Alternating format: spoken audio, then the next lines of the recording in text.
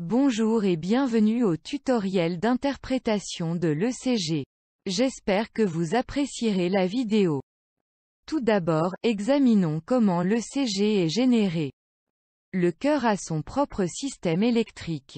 Ce système envoie constamment des impulsions aux cellules du muscle cardiaque pour qu'elles puissent battre.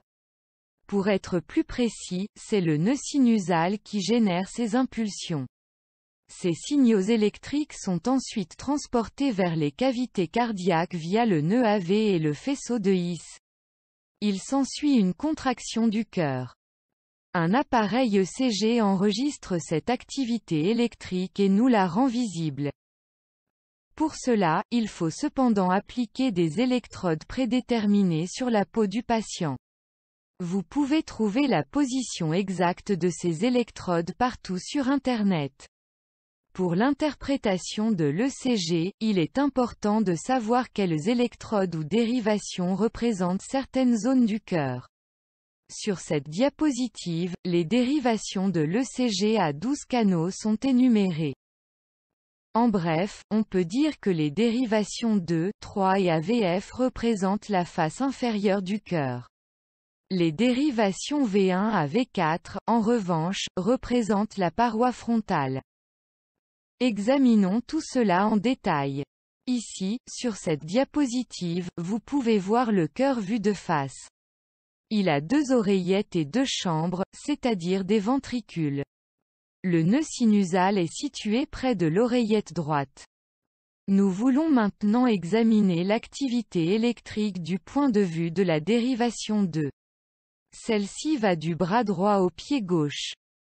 Lorsque le signal électrique se propage en direction du pied gauche, l'appareil ECG enregistre une onde positive. Toutefois, si le signal est émis dans la direction opposée, l'appareil ECG enregistrera une onde négative. Bien, alors observons la propagation réelle des impulsions électriques. Tout d'abord, les atriums sont activés. Ici, le signal se dirige vers la pointe du cœur, de sorte que nous pouvons voir ici une petite onde positive dans l'ECG. Lorsque les deux oreillettes sont complètement excitées, la ligne 0 se produit à nouveau, c'est la ligne isoélectrique. Ensuite, l'excitation des ventricules commence. Dans ce processus, une partie du septum ventriculaire est d'abord activée. Cela se fait dans la direction du bras droit. Nous voyons donc une petite onde négative dans l'ECG. Maintenant, la plus grande partie de la masse du muscle cardiaque est stimulée électriquement. Cette stimulation se fait vers la pointe du cœur. C'est pourquoi il en résulte une grande onde positive. Par la suite, d'autres parties du ventricule gauche sont excitées. Cela se fait dans la direction opposée. Nous voyons donc à nouveau une petite onde négative. Maintenant, les deux ventricules sont complètement activés. Après cette dépolarisation, une régression de l'excitation doit également se produire. C'est ce qu'on appelle la repolarisation.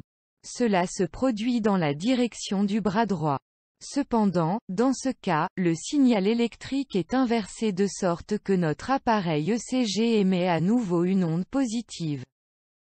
Et voici que l'ECG est complet.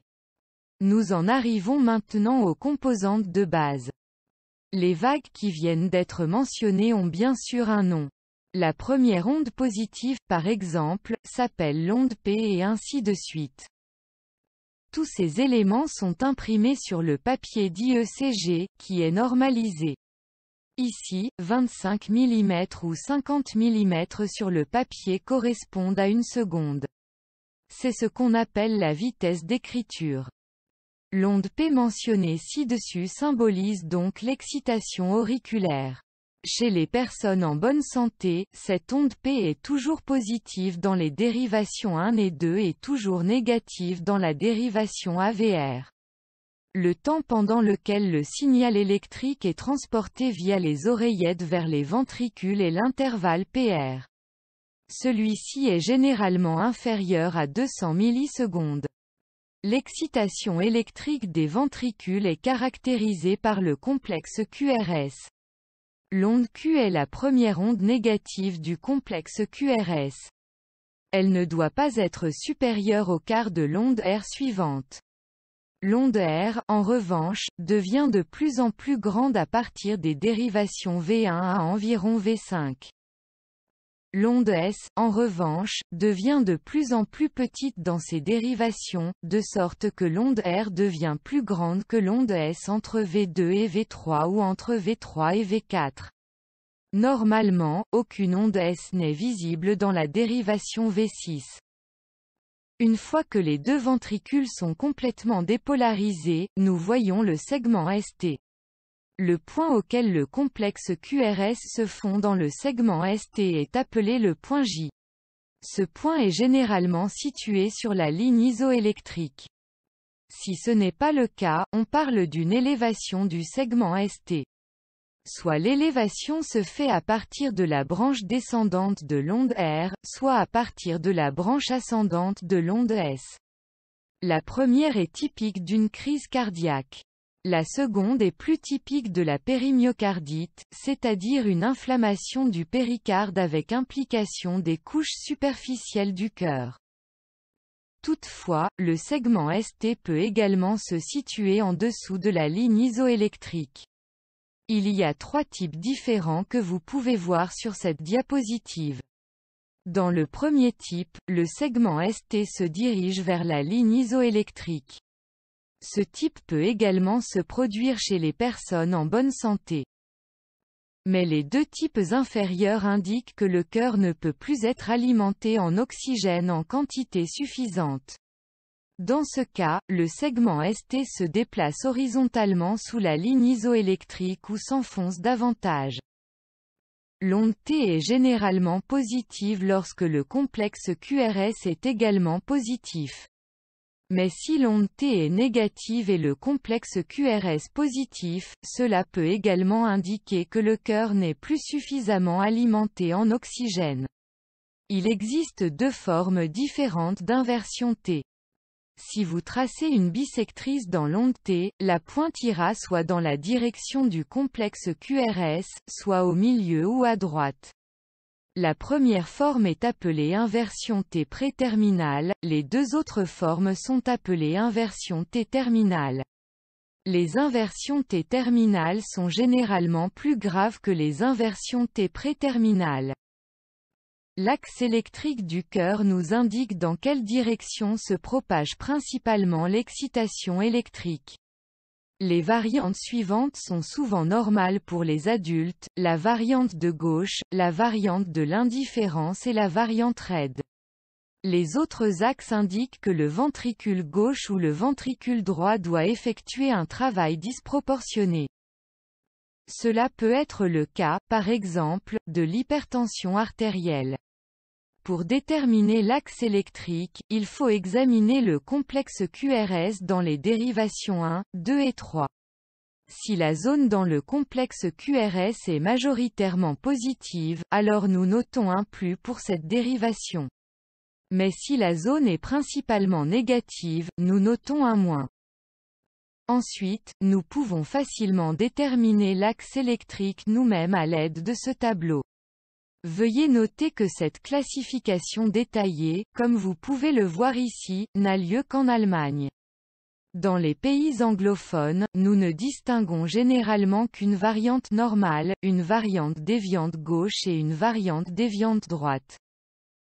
Mais je pense que la méthode allemande est meilleure, c'est pourquoi seule celle-ci est présentée ici. Au fait, le CG du côté droit montre la variante d'indifférence. Mais il y a aussi des cas particuliers. Si, par exemple, dans les dérivations 1, 2 et 3, les ondes R et S ont toujours la même taille, il s'agit de la variante dite sagittale. Cela peut se produire en cas de tension du cœur droit. Il en va de même pour le type S1Q3.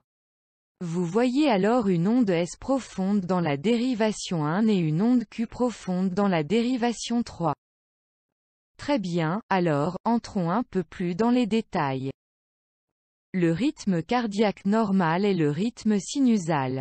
Nous voyons ici dans l'ECG des ondes P normales, semi-circulaires et positives dans les dérivations 1 et 2. Après chaque onde P, un complexe QRS apparaît. Si le cœur bat en rythme sinusal plus de 100 fois par minute, on parle de tachycardie sinusale. Mais s'il bat moins de 60 fois par minute, c'est une bradycardie sinusale. Par exemple, si l'oreillette droite s'élargit en raison d'un défaut de la valve cardiaque, l'onde P de l'ECG peut également s'élargir. Dans ce cas, l'amplitude est supérieure à 0,25 mV. Cette maladie est appelée P dextroatriale. Mais si l'atrium gauche s'agrandit, l'onde P s'élargit à plus de 100 millisecondes. Ce trouble est appelé P sinistroatrial. Si les deux oreillettes sont élargies, l'ECG peut présenter tous les critères que nous venons de mentionner. Nous devrions peut-être jeter un coup d'œil à la nomenclature à ce stade. Un complexe QRS qui ne comporte aucune onde R est appelé un complexe QS. Mais le complexe QRS peut aussi avoir deux ondes R. L'onde la plus large prend alors la majuscule. L'excitation électrique se propage dans les ventricules par le biais des branches ventriculaires. Cependant, celles-ci peuvent être endommagées par une maladie coronarienne, par exemple. Il en résulte alors un trouble de l'excitation intraventriculaire, c'est-à-dire un blocage des branches du faisceau. Il en résulte un complexe QRS plus large. Si le trouble n'est que partiel, la durée du QRS se situe entre 110 et 119 millisecondes. Si la perturbation est complète, la durée du QRS est supérieure à 120 millisecondes. Parfois, on peut voir un complexe QRS en forme de M sur l'ECG, comme indiqué sur le côté droit. Avec un bloc de branche droit, un tel complexe QRS en forme de M se produit généralement dans les dérivations V1 et V2. Dans un bloc de branche gauche, un complexe QRS en forme de M est plus probable dans les dérivations V5 et V6. Il est parfois difficile de distinguer un bloc de branche gauche d'un bloc de branche droit.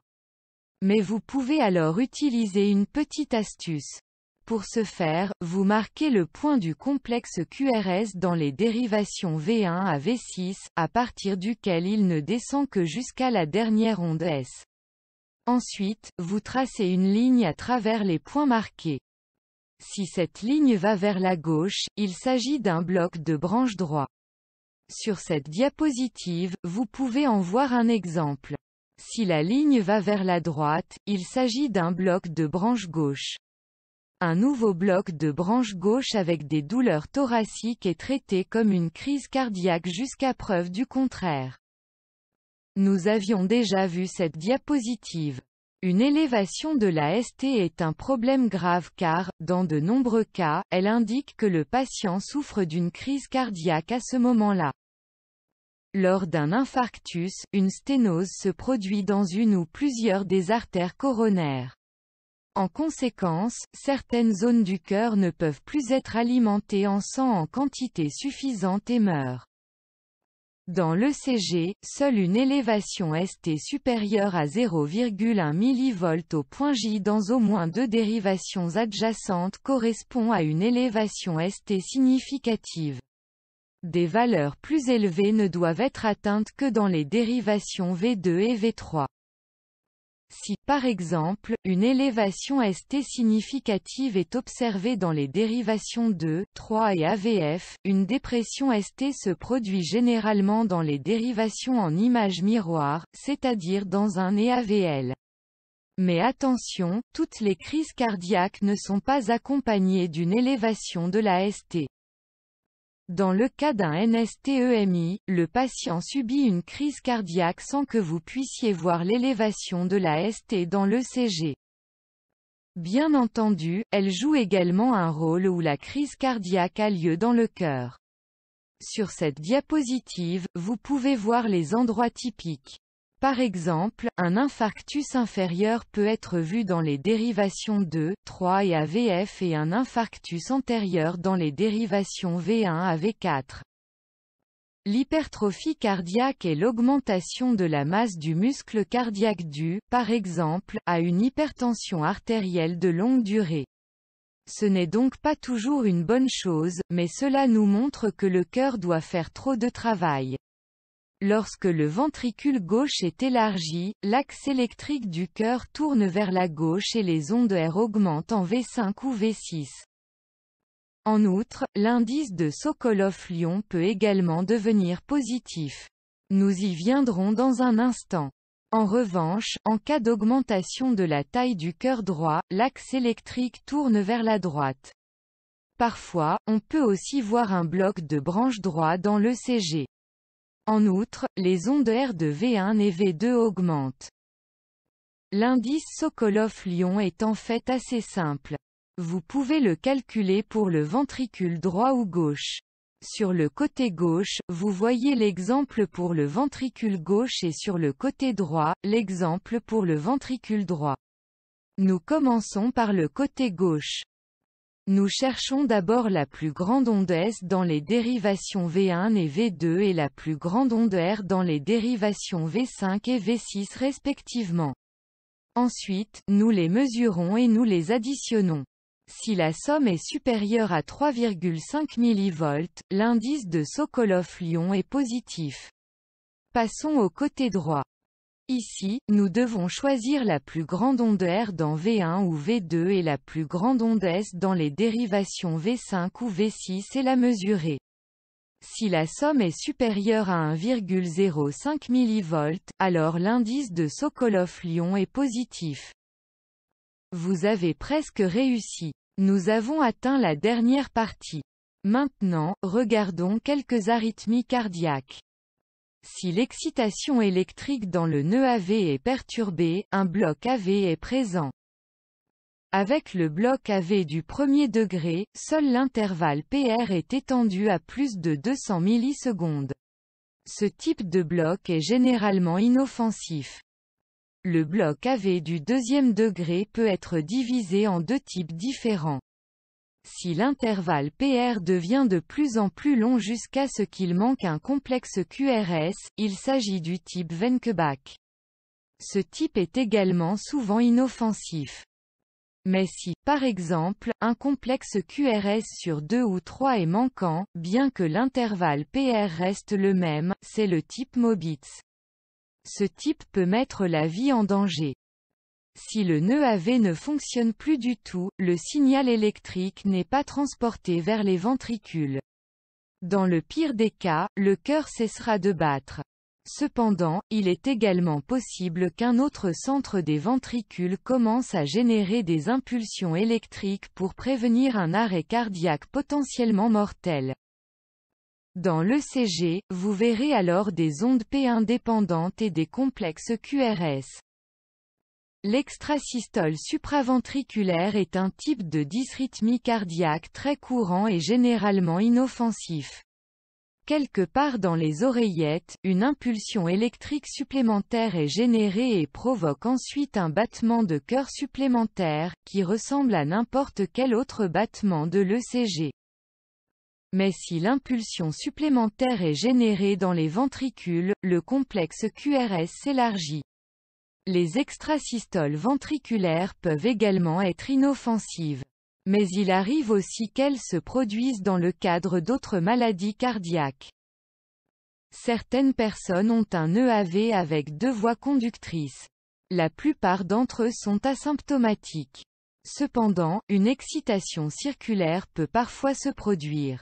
Cela correspond à une tachycardie de réentrée du EAV. Vous pouvez voir l'ECG correspondant sur cette diapositive. Vous ne pouvez plus détecter les ondes P typiques. Certaines personnes ont une autre voie en plus du EAV qui relie les oreillettes au ventricule. L'un de ces syndromes est le syndrome WPW. Il est également appelé syndrome de préexcitation. La plupart du temps, ces patients sont également asymptomatiques. Cependant, un signal électrique peut parfois tourner en rond. Les patients deviennent alors tachycardiques. Si l'excitation circulaire utilise le nœud AV pour entrer dans les ventricules, les complexes QRS dans l'ECG sont étroits. Cependant, si le trajet de conduction supplémentaire est utilisé pour transporter le signal électrique dans les ventricules, de larges complexes QRS sont visibles dans l'ECG. En haut à gauche, une onde delta typique est montrée.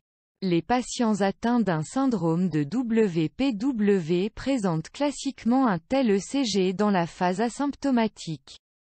En revanche, en bas à droite, on voit la forme tachycardique avec des complexes QRS étroits. La fibrillation auriculaire est une forme de dysrythmie cardiaque dans laquelle une excitation rapide et non coordonnée des oreillettes se produit. Ces impulsions électriques ne sont transportées que de manière irrégulière vers les ventricules. Il en résulte une arythmie absolue à l'ECG. Pour cette raison, les complexes QRS n'apparaissent que de manière irrégulière. Entre les deux, nous voyons de nombreuses ondes dites scintillantes. Le flotteur auriculaire est un trouble similaire. Cependant, seule une excitation auriculaire sur deux ou trois, par exemple, est transmise au ventricule, de sorte que le CG montre une image rythmique. C'est le CG correspondant. Les patients souffrant de maladies cardiaques graves, par exemple de maladies coronariennes, peuvent soudainement développer une tachycardie ventriculaire. Cette dysrythmie cardiaque trouve son origine dans les ventricules eux-mêmes et peut provoquer une perte de conscience chez les patients. Le flotteur ventriculaire est également similaire. Dans l'ECG, nous reconnaissons des ondes de haute amplitude qui n'ont pratiquement rien à voir avec le complexe QRS normal. Le flotteur ventriculaire peut se transformer en fibrillation ventriculaire mortelle. L'excitation coordonnée n'est plus visible dans cet ECG. Enfin, nous arrivons à l'intervalle QT. Il est mesuré du début de l'onde Q à la fin de l'onde T. Il est toujours évalué par rapport à la fréquence cardiaque dominante. Si vous êtes actif dans le sport, par exemple, l'intervalle QT est naturellement un peu raccourci. Cependant, si l'intervalle QT corrigé en fréquence est trop long ou trop court, cela peut être une indication de maladie cardiaque structurelle. Cependant, certains médicaments peuvent également être dérivés d'une modification de l'intervalle QT. C'était tout pour ce tutoriel. J'espère que la vidéo vous a aidé. Dans la section des commentaires, je répondrai à vos questions. À bientôt.